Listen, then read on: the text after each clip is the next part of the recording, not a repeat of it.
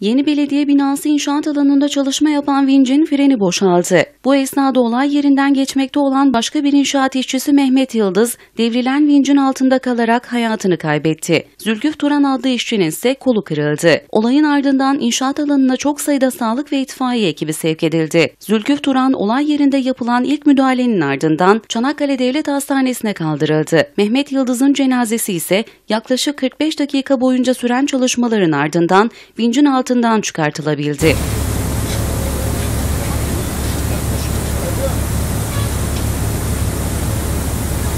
yapacağız şimdi? Anlat çıktım ben iş yerinden de. Vincin devrilmesiyle evlerin sarsıldığını belirten görgü tanığı Serpil Ortaç, iş makinesinin herhalde vinç yeri koptu. İşçinin üzerine düştü, bağırtılar falan oldu. Hemen ambulansı aradılar, geldi ama büyük olasılıkla altındaydı herhalde. Ben olayı gördüm. Tam karşıda oturuyorum zaten. Evler sarsıldı. Çok ağır bir makineydi dedi.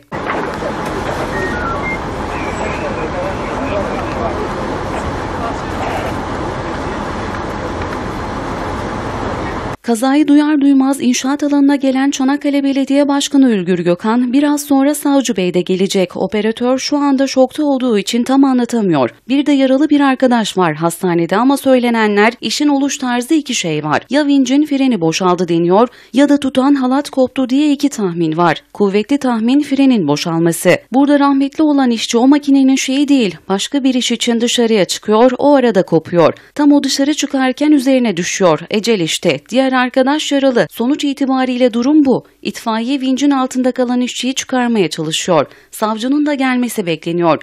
Bir ihmal var mı yok mu belli olacak diye konuştu.